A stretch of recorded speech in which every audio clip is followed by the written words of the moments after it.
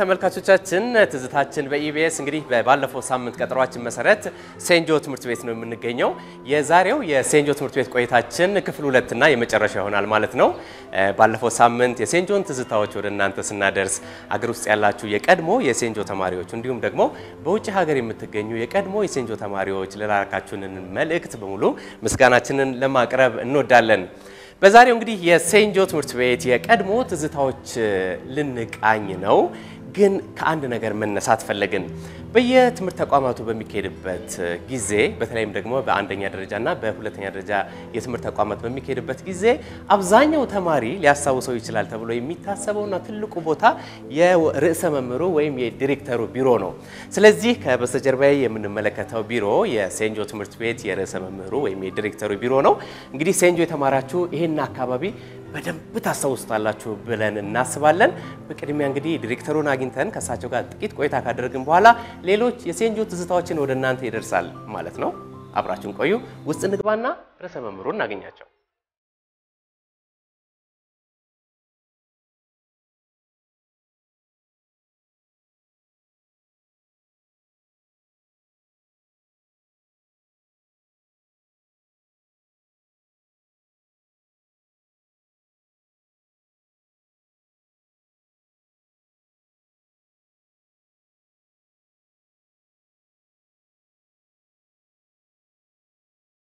በጣም ደስ የሚል ነው። ባለፈው በነበራችሁ ፕሮግራም ላይ በጣም ደስ የሚል ፕሮግራም እንደነበረ ከዚሁ ከአዲስ አበባም ከድሬዳዋም ከተለያዩ ቦታ ስልክ ደረሰኝ። እንደውም መጀመሪያ ስልክ ያገኘሁት ከጳጳሳችን ነው። ላሳሊያን ብራዘርስ ነን። ላሳሊያን የሚለው ነገር ምናልባት ቅዱስ ዮሴፍ ትምህርት ቤትን የመሰሉ ዓለም ከሰማንያ አገር በላይ በሆኑ አንድ ሚሊዮን የሚደርሱ ተማሪዎች የሚማሩበት ወደ መቶ ሺህ የሚጠጉ መምህራን እና ሰራተኞች አብረውን እየሰሩ ያሉበት የትምህርት ተቋማት አሉን። በሰማንያ እና ከዛ በላይ ባሉ ሀገሮች ማለት ነው። ዋናው ቢሮአችን ሮም ነው ያለው። ሮም ያለው ቢሮ ነው በ1959 ወደዚህ ተጋብዘው ሲመጡ ክርስቲያን ወንድሞች ይህን ትምህርት ቤት ያቋቋሙት በንጉሱ ጋባዥነት ወደዚህ። ከዚህ በፊት ግን ያው እንደነገርኩ ድሬዳዋ በ1953 ነበረ ሁለት እንደገና እዚህ ሲጀመር ከዚህ በፊትም ካቴድራል Nativity Boys School አሁን ካቴድራል school ክርስቲያን ወንድሞች ምናልባት አንዳንድ መረጃ ላይ ሳነብ የአዲስ አበባ ሕዝብ 350 ሺህ በነበረ ጊዜ 350 ወንድ ተማሪዎችን ጭቃ ቤት ውስጥ በሚመስሉ ክፍሎች ውስጥ ያስተምሩ እንደነበረ አንዳንድ የተለዋወጡት ደብዳቤ ላይ አንብቤ ያለውና ከዛ ነው ወደዚህ የመጣ ነው። ብዙ ፎቶግራፎች አሉ። እንደው ምናልባት የተወሰኑትን እዚህ ጋር አምጥቼ አምጥቻቸዋለሁ እንድታያቸው። የሚገርመው አንዳንዶቹ ዓመተ ምሕረት ነገር ስላልተጻፈባቸው አናቃቸውም እንጂ እንግዲህ ይሄ ዩኒፎርም ባልነበረ ጊዜ ተማሪዎች አንድ ላይ የተነሱት ነው። እዚህ ጋር ቢያንስ የሰባተኛ B ክፍል ተማሪዎች መሆናቸው የሚያሳይ ስዕል አለ፣ ፎቶግራፍ አለ። እነዚህ ፎቶግራፎችን እንግዲህ የቀድሞ ተማሪዎች ናቸው። እዚህ መጥተው ራሳቸውን ሲያገኙ በተለይ እንደዚህ በእንደዚህ አይነት ሁኔታ አሳጥበው የሚያመጡት እነርሱ ናቸው። ተማሪዎቹ አዎ፣ ራሳቸው የቀድሞ ተማሪዎቻችን በተለይ በእንደዚህ በእንደዚህ አይነት ነገር የትምህርት ቤቱን ትዝታ በማቆየት ነገር ትልቅ ትልቅ ሮል ነው ያላቸው። ይህ ደግሞ ታዋቂ የስፖርት መምህር ከተማሪዎቻቸው ጋር ሆነው ነው በአመቱ መጨረሻ 12ተኛ ክፍል ተማሪዎቻችን graduate ሲያደርጉ ትልቅ በዓል ነው የሚደረገውና ካርዲናላችንም መጥቶ ተማሪዎችን ይመርቃሉ። ስለዚህ ወጣት ተማሪ ልንገርህ ፕሮፌሰር ነው። በ mathematics እና በፊዚክስ ዶክተር ነው። አሜሪካን ሀገር ነው ያገኘሁት። ከዛም በኋላ እዚህ መጥቶ ጠይቀውናል። መምህር ነው። በጣም humble የሆነ ሰው ነው። የአምስተኛ ክፍል ተማሪ እያለ የሚያስታውሰው brother ነው የነገረኝ እዛ ሲያገኘኝ። አሁን እጅግ የተከበረ ሰው ነው። አሜሪካን ሀገር ውስጥ ነው የሚኖረው ሚኒሶታ። እዚህም እየመጣ ይጠይቃል። የመጀመሪያው ጥያቄ እዚህ ሲመጣ መምህራኖቹን ነው የሚፈልገው። መምህራኖቹን መጥቶ አነጋግሮ ትምህርት ቤት ጎብኝቶ ይሄዳል። ፕሮፌሰር ኃይሌ ከበደ እንግዲህ ይህን ፕሮግራም የሚያዩት ከሆነ እግረ መንገዶ ልጅነትዎን እንዲያዩ እንጋብዞታለን። እነዚህ አይነት ፎቶዎች በጣም ያስደምሙኛል።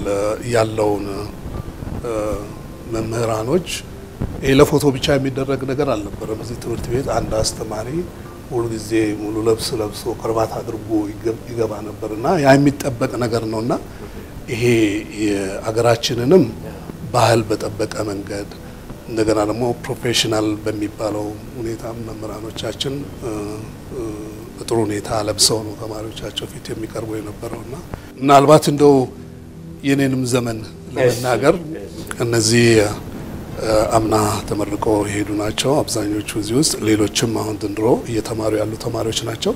አንዳንድ የቀድሞ ተማሪዎች ራሳቸውን ፈልገው ካገኙ እዚህ ውስጥ እነዚህ እነዚህ ፎቶ ውስጥ ራሳቸውን ፈልገው ያገኛሉ። አንዳንድ ጊዜ የቀድሞ ተማሪዎች ሲመጡ ፎቶ ነው የሚያዩትና ራሳቸውን ሲያገኙ እጅግ በጣም ደስ ይላቸዋል። ጊዜው እነዚህ እነዚህ ናቸው እና የሚገርም ነገር ዮናስ እኛ ራሳችን ከኛ አቅም በላይ ነው የዚህ ትምህርት ቤት ታሪክ የዚህ ትምህርት ቤት ዝና። እኛ ተሸክመ ነው ነው ያለ ነው ያለውን ነገር የማስቀጠል ነገር ትልቅ እንትን ነው ለኛ የትምህርት ቤት ሲሄድ የነበረውን ታሪክ የነበረውን ስኬት የማስቀጠል ነገር ትልቅ ለኛ ኃላፊነት ነው። እዚህ ትምህርት ቤት ሲጀመር ከሁለተኛ ክፍል ነው የተጀመረው። በ59 ከናዝሬት ትምህርት ቤት መጥተው ነው ሁለተኛ ክፍል የጀመሩት ተማሪዎቹ እና ማይክል ፋረል ይባላሉ። ፎቶቸው እዛ ጋር የምታያቸው ወንድም በዚህ ውስጥ ትልቅ ትምህርት ቤት ውስጥ ትልቅ ሚና ያላቸው ወንድም ናቸው። እዛ ጋር የምታየው ሰው brother ሉሲየን ይባላል። brother ሉሲየን የመጀመሪያው የዚህ ትምህርት ቤት ዲሬክተር ነው። ሌላው አንድ ደስ የሚል ነገር ያየሁት እዚህ የዚህ ትምህርት ቤት የወላጅ ኮሚቴ የነበሩ ሰዎች ነው። እዛ ውስጥ እነ ዶክተር ጌታቸው ብሎዲያን በዛ ጊዜ እንግዲህ ወላጅ ነበሩ ማለት ነው። እዚህ ምናልባት እንዲሁ ለትውስታ እንዲሆን ጥቂት እናንብበው። የተወደዳችሁ ወላጆች ከጥቂት ቀናት በኋላ ትምህርት ቤቱን ለገና እረፍት እንዘጋለን። መላው የቅዱስ ዮሴፍ ትምህርት ቤት ሰራተኞች የደስታና የተቀደሰ ልደት እንዲሆንላችሁ እንመኛለን። ስማችሁ ከዚህ ቀጥሎ የተዘረዘረ ወላጆች ለዚህ ዓመት የወላጆች ኮሚቴ ተመርጠዋል ይላል። በዚህ መሰረት እንግዲህ ወይዘሮ አዘነጋሽ፣ አቶ ጥሩ ሰው መሸሻ፣ ወይዘሮ ታሪክ አሳየ፣ አቶ እስማኤል አዲስ፣ አቶ ደምሰው አሳየ፣ እርስዎ ደግሞ የጠቀሱልኝ ዶክተር ጌታቸው ቦሎዲያ፣ አቶ ታየ ኃይሌ፣ ሲስተር ፋንታዬ ገብረ ሕይወት፣ አቶ ደጎል ይህደጎ ጀነራል ዳንኤል መንግስቱ፣ ሲስተር የሺ ተሾመ፣ አቶ ዮሴፍ ተስፋዬ ይልና ሮብ ታህሳስ 27 የመጨረሻው የትምህርት ክፍለ ጊዜ በኋላ ትምህርት ቤቱ ይዘጋና ሰኞ ጥር 16 ቀን ይከፈታል ይላል። አንዳንድ ወላጆች የሁለተኛው የትምህርት ገንዘብ ክፍያ አላጠናቀቁም። ሄድች ነው ማስታወሻነት። አዎ ይህ ክፍያ ከሁለት ሳምንት በፊት መጠናቀቅ ነበረበት። እንደው አጠናቁ እንኳን እኮ ረገጥ አላደረጉም። ትህትናው የ- በዘመኑ የሚጻፈው ቋንቋ ደስ ይላል። መጠናቀቅ ነበረበት። አዎ። መልካም brother። ስለዚህ እኛ አሁን ከዚህ በኋላ ፕሮግራማችን ላሳሊያንስ እያልን መቀጠል እንችላለን። ላሳሊያንስ ማለት የሴንጆ ተማሪዎች ናቸው።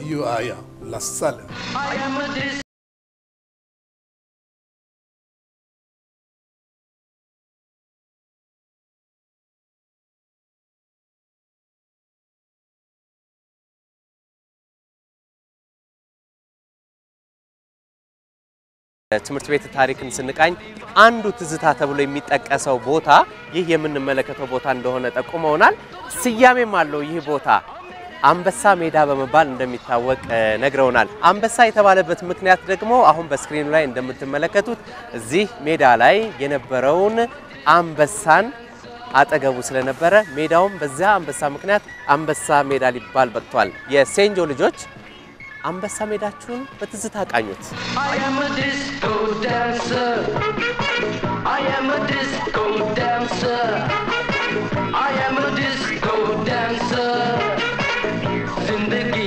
ዛችን በኢቢኤስ እንግዲህ ወደ ሴንጆ ትዝታ ሲመጣ በብዙ ተማሪዎች ዘንድ ትዝታ ሊሆኑ የሚችሉ ነገሮችን እየዳሰሰ ነው የሚገኘው። ትምህርት ቤቱ ከተቋቋመ 58 ዓመት ነው ብለናል።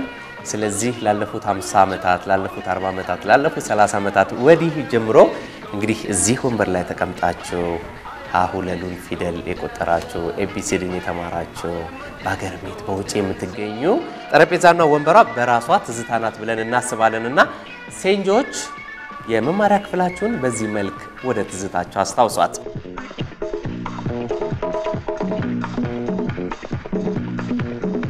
የሴንጆ ትዝታ እጅግ በጣም ብዙ በመሆኑ የሴንጆ ትዝተኞች በተለይ ቀድሞ ተማሪዎች ወዳሉበት ቦታ ልንሄድ ነው። በመጀመሪያ የምናቀናው ወደ ስድስት ኪሎ አካባቢ ነው የሚሆነው። ወደ ያሬድ የሙዚቃ ትምህርት ቤት አካባቢ እንሄዳለን። እዚያ ደግሞ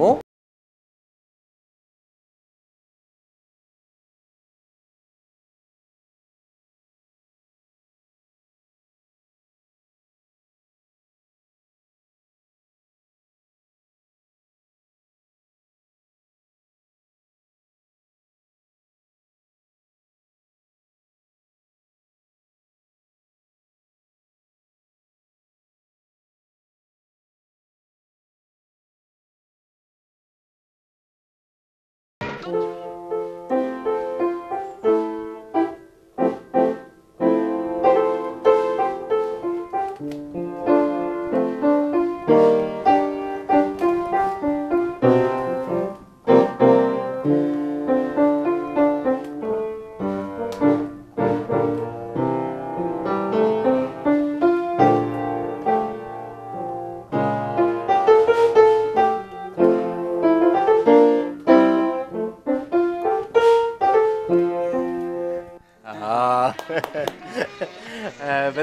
ይላል። ተመልካቾቻችን ማን ነው የሚል ተመልካች ያለ አይመስለኝም። እንግዲህ ያንተን ማንነት ምናልባት የሚያስፈልግ ከሆነ ስምን አስተዋውቀን እንጀምር። ስሜ ሄኖክ ተመስገን ይባላል። bass guitarist፣ ሙዚቀኛና የሙዚቃ መምህር ነው። መልካም እንግዲህ ተመልካቾች ሄኖክ ተመስገን ጋር የመጣንበት ዋና ዓላማው የሴንጆን ትዝታ ለመጫወት ነው። ከሙዚቃው መለስ ብለን እንግዲህ ወደ ሴንጆ ትዝታው ልንወስደው ነው። ቤቱን ያገኘ ነው እዚህ አካባቢው ቤላ አካባቢ ነው። ቤላ ከረሜላ ሰርግ ላይ አንቺ ቤላ ቤላ የሚለው ለካ ሰፈራቸውን ነው። ስለዚህ ቤላ ሆነን በትዝታ ወደ መስቀል አደባባይ አካባቢ ወደሚገኘው ወደ ሴንጆ ትምህርት ቤታቸው እናቀናለን ማለት ነው። ሄኖኬ በቅድሚያ በጣም አመሰግናለሁ። ሴንጆና ትዝታ ምን ይመስላል? እስቲ ከልጅነት ጀምረን ያለውን ሴንጆ ከገባበት ጀምረን ያለውን overview ውን ቃኝ። okay ሴንት ጆሴፍ የገባሁት ከዘጠነኛ ክፍል ነው። ከዛ በፊት ካቴድራል ነበርኩም። ካቴድራል ትምህርት ቤትም በሴንት ጆሴፍ መምህራን ነበር ያኔ የሚተዳደረው በ same brother ኦች brother ሮጄ፣ brother ፊሊፕ በሙሉ ሴንት ጆሴፍም ካቴድራልም በ same brother ኦች ነበሩ የሚያስተምሩት። ከዛ ካቴድራል ስምንተኛ ሲጨርስ ዘጠነኛ ክፍል ገባሁ። ከዘጠኝ እስከ 12 ሴንት ጆሴፍ የጨረስኩበት ጊዜ በጣም ትልቅ ትዝታ ያለብኝ ብዙ ጓደኛዎች ያፈራሁበት ብዙ contact ያደረኩበት እስካሁንም ድረስ አብረን ብዙዎቹ እዛ የነበርን ሰዎች እየተገናኘን በሙዚቃ ዓለም ውስጥም ያሉ ከዛም ውጭ ያሉ ብዙ ጥሩ ኃይለኛ memory ዎች ያሉን። ሴንጆ በጣም ጥሩ background ሰጥቶናል። ለትምህርታችን ጥሩ መሰረትን የሰጠን ነው። ከ academic ትምህርት ሌላም ደግሞ ትዝ ይለኛል hiking ነበር ከ brother ሮጄ ጋር የዋና ትምህርት ነበር። ጊዮን ሆቴል ሄድን። የሙዚቃ ፕሮግራም ነበረ። ልዩ ልዩ ከትምህርት ከ academic ትምህርት ውጭ ደግሞ ሌሎች ብዙ ፕሮግራሞች ነበሩ። ሰው ሙሉ ጥሩ ጀነራል የሆነ ነገር እንዲኖረን ኳስ እንጫወት ነበረ። ሴንት ጆሴፍ high school ኳስ ተጫዋች ነበርኩኝ። ጥሩ ጊዜ ጥሩ ጥሩ ትዝታን ሴንት ጆሴፍ ትምህርት ቤት ውስጥ።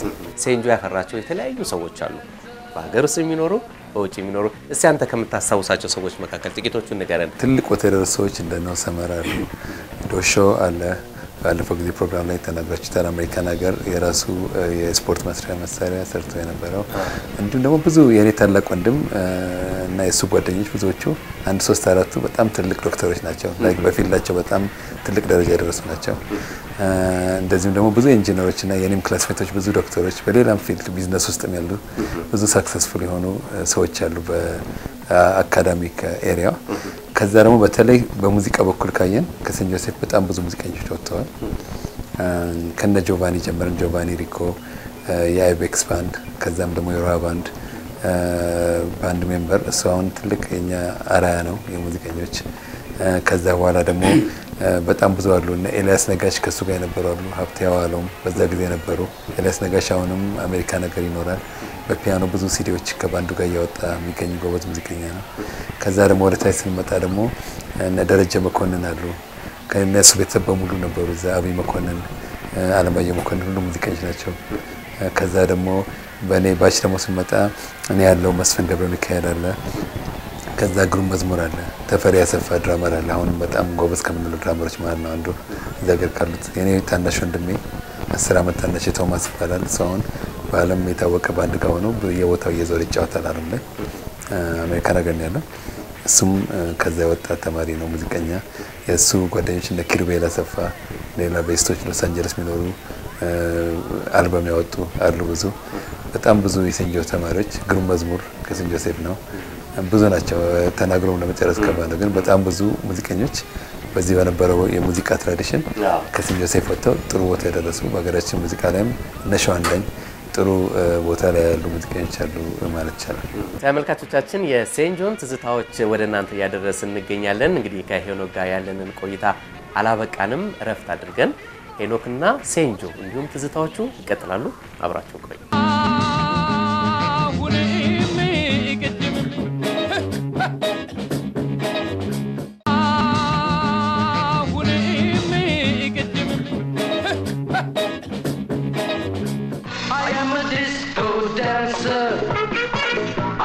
እረፍት ተመልሰናል ተመልካቾቻችን። ከሄኖክ ጋር የሴንት ጆን ትዝታዎች እንቀጥላለን።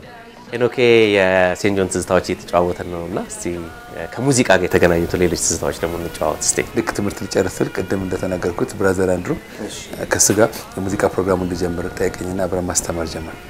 ግን ከዛ በሶስት ወር ጊዜ ውስጥ ወጣ ወደ አሜሪካ ሀገር ብዙ አልቆየው። ከዛ በኋላ እኔና brother አንድሩ የጀመረው ፕሮግራም እኔ አብሬ የነበርኩበት ፕሮግራም ለብዙ ዓመት ቀጥሎ ብዙ ሙዚቀኞችን አፈራ ያ ፕሮግራም። እኔ ከዛ ወጣው ከሴንት ጆሴፍ አሜሪካ ሀገር ሄጄ በራሴ ሙዚቃ መጫወት ጀመርኩ። ሌላ field አጥንቼ ነበር መጀመሪያ engineering አጥንቼ በሱም ሶስት ዓመት ሰርቼ ነበር። ከዛ በኋላ ግን ወደ ሙዚቃው ሄድኩኝና? civil engineering ነበር። ለዚህ መናገር የምፈልገው ሴንት ጆሴፍም ካቴድራልም ያለው ጎበዝ ተማሪ ነበርኩኝ። እ፣ የዛ ደግሞ ያለው academic ትምህርት ለጥሩ ለጥሩ መሰረት ሰጥቶኛል። አሜሪካ ሀገር ስሄድ civil engineering ሃዋርድ ዩኒቨርሲቲ graduate ሳደርግ እ፣ ጥሩ base ስለነበረኝ እሱ በጣም ረድቶኛል። ለዚህ ይሄን ነው ለሴንት ጆሴፍን ማመስገን ፈልገው። ሴንጆ እ፣ አለባበሳችን በዛ ጊዜ 1979 ነው። ምናልባት ዮናታን አልተወለድክ እና በዛ ጊዜ የዲስኮ ዘመን ነው፣ የደርግ ጊዜ ነው። ግን የዲስኮ ሙዚቃ በጣም የተወደደበት ጊዜ ነው። ጸጉራችን አፍሮ ነበር ብዙዎቻችን፣ ትልቅ አፍሮ አለን ይሄን ያክል። ቤል ሱሪ እናደርጋለን ሰፊ ከታች እና ታኮ ጫማ፣ ወንዶችም ታኮ ጫማ ያደርጋሉ። የወንዶች ታኮ ጫማ ነበር በዛ ጊዜ። ቤል ቦተም ታኮ ጫማ አፍሮ የሰባ- የሰባዎቹ የአሜሪካን ሀገር ፋሽን የነበረው ነገር በዛ ጊዜም እዚህ ነበር እና እሱን ብዙ የሴንት ጆ ተማሪዎች በዛ ጊዜ እንደዛ ነበር የምናደርገው። አፍሮ ብዙዎቻችን ትልቅ አፍሮ አለን። ብዙዎቻችን ቤል እና ታኮ ጫማ እናደርጋለን። እንዲያውም ከኛ በላይ አንድ best perfect afro ያለው ትዝ ይለኛል። አታመንታ የሚባል አታመንታ ከኔ በላይ አንድ ሁለት class በላይ ነው፣ ግን በጣም ትልቅና perfect የሆነ በኮምፓስ የተሰራ afro ነበር።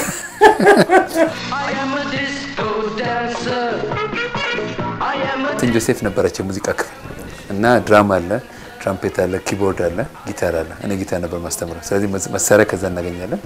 ቤታችን ደግሞ ሁሉም በየራሱ አለው። ለምሳሌ እኔ- ቤት ከወንድሜ አባቴ ጊታር ገዝቶልኝ ነበር። እሱ ነው እንዲያውም እዛ ጋር ተቀምጣለች አሁን አታይም እንጂ ያቺ ወደ አርባ ዓመት በላይ ያቺ? ጊታር መጀመሪያ- አርባ ዓመት ያለፋት አባቴ መጀመሪያ የገዛልን ጊታር ነው።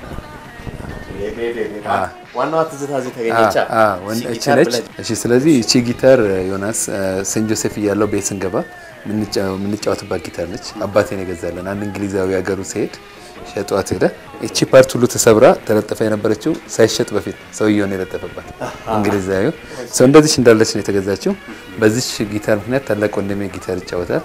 እኔ ያው ሙዚቀኛ ሆኛለሁ በዚች ጊታር ምክንያት ማለት ነው። ሴንት ጆሴፍ በነበረውና ቤት እጄ በምጫወትበት በዚህ ቶማስ የኔ ታናሽ አስር ዓመት ታናሽ በዚህ ጊታር ምክንያት ሙዚቀኛ ሆኗል።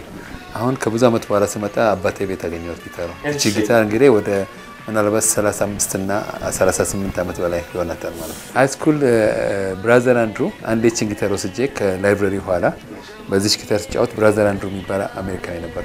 በኋላ ማይክል ሼን ይባላል። በዛ ጊዜ አንዱ ነበር የሚባለው። አሁን በቅርብ ህይወቱ አልፏል። እግዚአብሔር ነፍሱን ይማረው እና እሱ librarian ነበር እና ከ library ውስጥ ሆኖ ከኋላ በዚች ጊታር ጓደኞቼን ሰብስቤ ስጫወት አየና ጊታር እንደዚህ ይችላል እንዲ ያለኝ አልኩት። ትንሽ ጫወተኛ ያለ ጫወትኩለት። የሙዚቃ ፕሮግራም ልጀምር ነው ሴንት ጆሴፍ እና ለምን ከኔ ጋር ጊታር አታስተምረም አንተ ሌሎቹ መሳሪያዎች ያስተምራሉ አለ።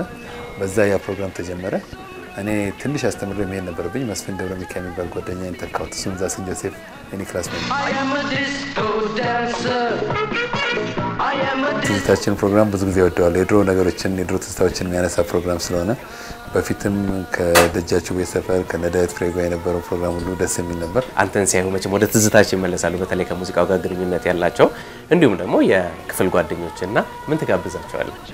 high school እያለን ሴንት ጆሴፍ አንድ በጣም የምንወደው ካሴት ተሰራ። instrumental የሙዚቃ እና ደረጀ መኮንን፣ ጆቫኒ ሪኮ፣ ሰላም ስዩም፣ ቴዎድሮስ ምትኩ፣ ተስፋዬ ሆዶ እና ፈቃደ ሆነው አይቤክስ ባንድ ይባሉ ነበር። በኋላ ሮሃ ባንድ የሆኑት ከነሱ ማለት ወጥተው ነው እና እነሱ የሰሩት instrumental ሙዚቃ ነበር። እሱ እኔና በጋዝ ትዝ ስናወራ ሙዚቀኛ እንድንሆን የገፋፋን ሲዲ ነው። በጣም እንወደው እና በዛ ጊዜ ወጣ ነው high school እያለን ሴንት ጆሴፍ እና ከዛ ላይ የባህታ ዘፈን አለ። እሱን ትንሽ በፒያኖ የተጫወትኩኝ በመሰናበታቸው ለጓደኞቼ በሴንት ጆሴፍ memory በዛ ጊዜ የነበረውን ትዝታ መጋበዝ ፈልጋለሁ ይሄን ሙዚቃ ስለዚህ እሱን እንጫወት ማለት ነው። ስንጫወት አዎ፣ እዛ የተሻለ ፒያኖ አለ። እዛ ሄደም ትንሽ እንጫወት። መልካም አመሰግናለን።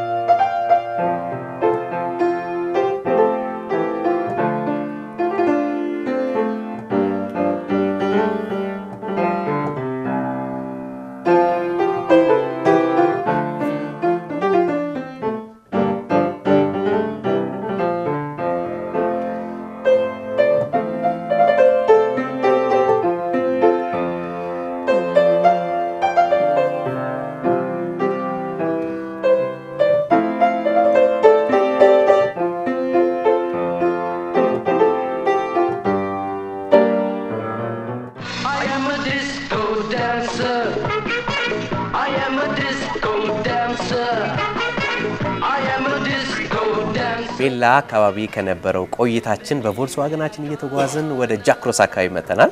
እ ጃክሮስ ደግሞ ሌላው የሴንጆ ትዝተኛን አግኝተነዋል። ይህ ትዝተኛ ጆቫኒ ሪኮ በመባል ይታወቃል። ጆቫኒ ሪኮ እንግዲህ ወደ ትዝታዎቹ ስንመለስ የተለያዩ ነገሮችን ያጫውተናል። ከዚያ በፊት ግን ጆቫኒ ማን ነው ለምትሉ እኔ አጭር ምላሽ ልስጥ። ጆቫኒ የሙዚቃ ባለሙያ ነው። በተለይም ደግሞ በሴንጆ የቀድሞ ተማሪዎች የሰባዎቹ ምሩቃን ማለት ነው፣ በፈረንጆቹ ሰባዎቹ ምሩቃን ጆቫኒን ከቀለም ትምህርቱ ባሻገር በሙዚቃ ስራው እጅግ ያስታውሱታል። ወደ ጆቫኒ ትዝታዎች ልናልፍ ነው። ጆቫኒና ትዝታችን በኢቢኤስ አብራችሁን ቆዩ። Okay መጀመሪያ እዚህ ፕሮግራም ላይ መካተቴ በጣም ደስ ብሎኛል። ምክንያቱም ቅዱስ ዮሴፍ ያው እዚህ ያበቃኝና ባለውለታ የሆነ ትምህርት ቤት ወደ ጥያቄው ለመመለስ እኔ መጀመሪያ የጀመርነው እንግዲህ በኪንደርጋርተን የሚባል በናዝሬት ትምህርት ቤት ነበረ። ናዝሬት ትምህርት ቤት የሚታወቀው እንግዲህ የሴቶች ትምህርት ቤት ነው። ግን በዛን ጊዜ ምን ነበረ የወንዶችና ሴቶች የወንዶች ህፃናቶችን ይቀበሉ ነበር እና እዛ እንደገባን አመት ሳይሞላ ሴንት እ ትምህርት ቤት ተመሰረተ። ከዛ በኋላ ወንዶች ወደ ሴንት ትምህርት ቤት ተብለን ናዝሬት እንግዲህ exclusively የሴቶች ትምህርት ቤት ሆነ። ሴንት ጆዜፍም ደግሞ የወንዶች ሆነ ማለት ነው። እንግዲህ ባለ አምስት መስመር box ነበረች ደብተሯ እና ሊሴ ከሊሴ ነው የመጣችው እሷ ደብተር እና እዛ ጋር ለምሳሌ ትንሽ እንትኖቹን ካፒታል ያልሆኑትን ሶስት መስመር ነው፣ ትልልቁ ደግሞ አራት ነው ተብሎ ተወስኗል። እንግዲህ እዛች በእያንዳንዷ እሱን መጻፍ አለብኝ ማለት ነው። ስለዚህ አሁን የሴንት ጆሴፍ ተማሪ በሙሉ almost እንትን ጽህፈታችን አንድ አይነት ነው። በደንብ እንትን የሚነበብ ነበር። ይሄ ትልቅ ትኩረት ተሰጥቶ ነበር እና ያው ደብተርም ንጽህና መጠበቅ አለበት። ንጽህና ራሱ ደብተሩ እና penmanship ደግሞ የሚባል የእጅ ጽሁፈት በእንትን ነው አጣቅሰን በቀለም ነው በብዕር አለ አጣቅሰን ነው ቀለሙን አጣ እዛው desk ኡ ላይ አንድ ላይ የተያያዘ ነው ከሱ ላይ እንደውም አሁን ትምህርት ቤቱ ጋር ብትሄድ እነዛ desk ኦች አሉ።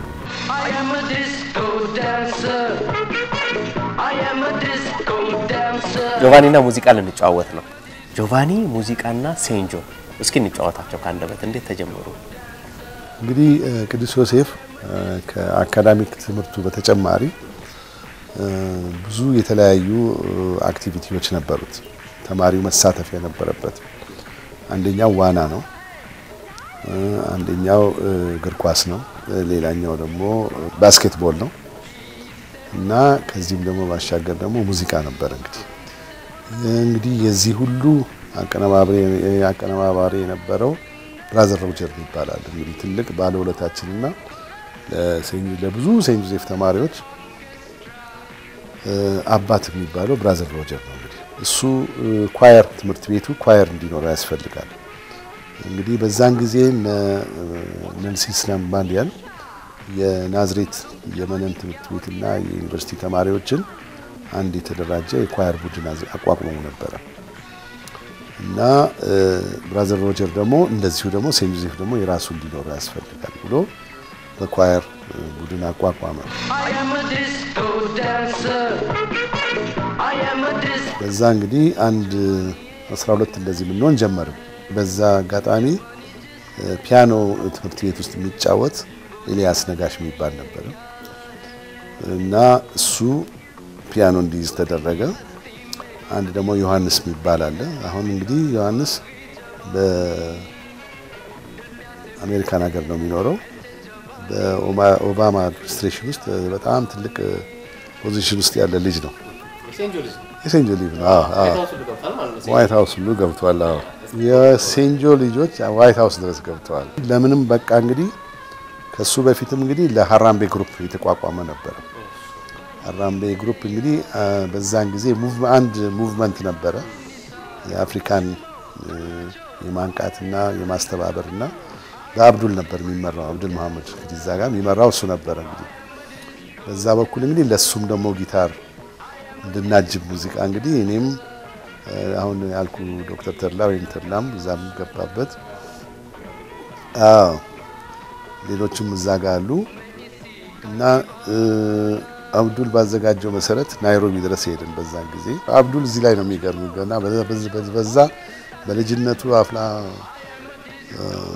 ጊዜ እነዚህን ትልቅ ኃላፊነት ወስዶ ያውም ከቤተሰብ የማያወጡ ሴቶችን ሁሉ እንግዲህ ከናዝሬት ትምህርት ቤት ሁሉ ሴቶችም ነበሩ።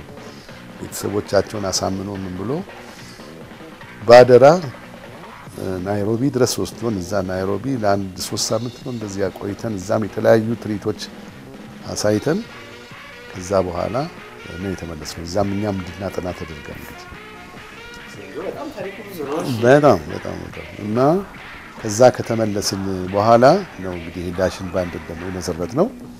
ዳሽን ባንድ ተመስርቶ እንግዲህ በዛን ጊዜ ለ high school ኦች ናዝሬት ትምህርት ቤትም ፈረንሳይ ትምህርት ቤትም እየተዞረ በየ occasion ኡ እንጫወት ነበረ። እቺ እንግዲህ አንዳንድ በግሌ አሁን ሙዚቃ ስጫወት እዚህ መጥቼ የምጫወትባት ስፍራ ናት፣ ቢሮዬም ናት። አንዳንድ ለ recording ኦችም እንግዲህ ማዘጋጀው እዚህ ነው። ውጭ እጄ record ከማድረግ በፊት ተለማምጄ የሚሄድበት እቺ አሁን ማርሻል አምፕሊፋየር ናት። እቺ በነገራችን ላይ እድሜዋ ወደ 35 ዓመት ነው። በ tube ነው የሚሰራው። እስካሁን ድረስ አለች፣ እንደጠበቅኳት ናት። በጣም ተፈላጊ ነው። bass ጊታሬም እንደችኛው ናት። Fender ትባላለች። ከሮሃ ባንድ ጋር ሆኜ የገዛኋት Fender Precision ናት። serial number ዋም አለና አሁን ይህን check ብታደርግ ኦንላይን በጣም ከፍተኛ ዋጋ ያላት ናት። የነበሩ ጣሊያኖች ነበሩ እዚህ ለሂልተን ሆቴል ለስራ መጥተው ከነሱ ላይ ነው የተገዛችው። እንግዲህ ድሮ በ afro ብታቁኝ፣ አሁን እንግዲህ በአዲስ style ብታቁኝ ጆቫኒ ሪኮ እባላለሁ። የቀድሞ የሴንት ጆሴፍ ተማሪ ነኝ እና ይህን ፕሮግራም ስለተሳተፋችሁ በጣም አመሰግናለሁ። አሁን እንግዲህ በድሮ bass ጊታሬ እናንተ እንግዲህ አንድ ትንሽ ነገር ተጫውቼ በዛው ጨርሳለሁ። እንግዲህ